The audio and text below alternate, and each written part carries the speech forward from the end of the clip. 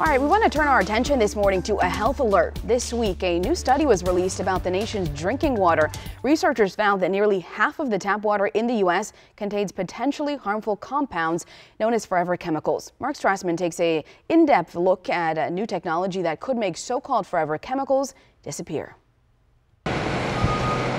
Nasty cargo, 10,000 gallons of landfill water laced with PFAS a known carcinogen that nothing could get rid of until now. We are concentrating the nasty stuff to allow the annihilator system to treat it. Not just treat PFAS, blast them out of existence. These so called forever chemicals are man made, used in Teflon, firefighting foam, even facial makeup, and previously indestructible.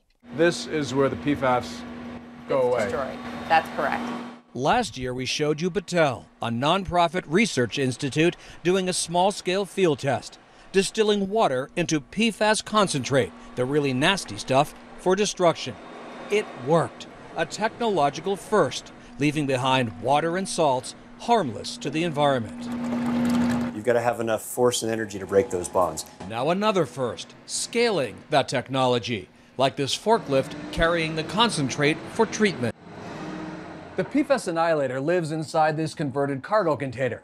With heat and pressure, it blasts the PFAS concentrate. These forever chemicals gone without a trace within seconds. Here in Grand Rapids, this retooled water treatment plant is North America's first permitted PFAS remediation facility. Were you convinced it would work? We had a lot of hope that it would. So, how scalable is it? It's could be much more scalable, much larger than this. This plant's treating a half million gallons a week. The market seems virtually limitless. This is only the tip of the iceberg of us being able to get this scalable technology to market and to customers. For the first time, nothing about PFAS is forever. Mark Strassmann, CBS News, Grand Rapids, Michigan.